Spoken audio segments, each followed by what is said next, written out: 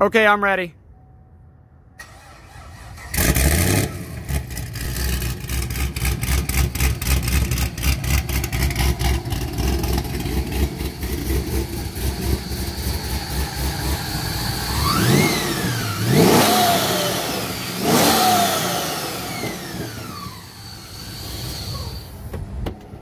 Hello, friends over at Group A Engineering. Um, this is Ethan with Trackstar, and we got Ryan behind the camera. I uh, just wanted to shoot a quick little video to show you where we were at with the Camaro and what else we kind of had going on. So we did finish up with the blower install on the on the Camaro. Uh, it does also have a Texas Speed cam and, a, and a long tubes and a few other like bolt-ons.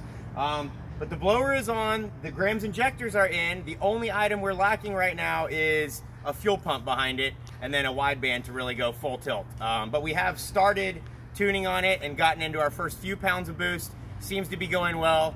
Uh, we definitely had a delay with transmission, outsourced transmission work, but we're through all that now. Everything seems to be working good, so we're ready to ready to really uh, get this thing on the dyno soon, get some power numbers, and shoot a bunch of video for you. Um, aside from this, we have a couple other things in the shop that I think might be kind of mutually beneficial. I have personally underexploited this, but come on in and let's, let's take a look.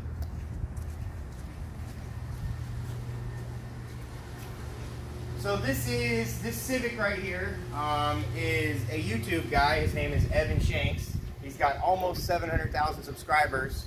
And I've been doing tuning on, I don't know, probably six or seven of his vehicles. Um, this one is a compound turbo setup. Um, it has a basic, just like rods and pistons to it right now. We'd love to get a sleeve block, etc., etc. But right now we're just kind of just got the compound turbo setup working good with boost control and everything. I'm gonna fire it up for you.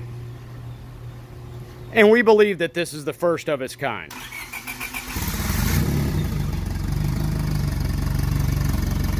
So the tune is just rough right now, but uh, we, we did already do some uh, burnouts in the car yesterday uh, with Evan. You can see that on his channel.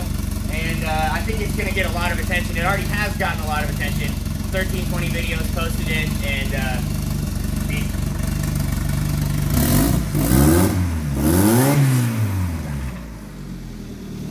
so cool. So aside from that, we always have, I mean, this is just what we have in the shop right now.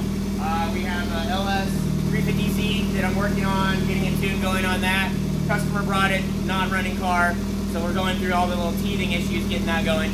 Uh, I've got a K20 Civic in for a tune, but also he has an oil pan problem that we're needing to resolve.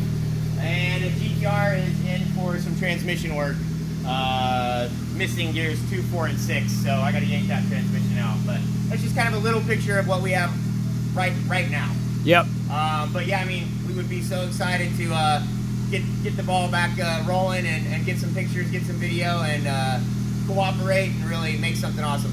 All right, we look forward to it, guys. We'll give you a call here just just shortly.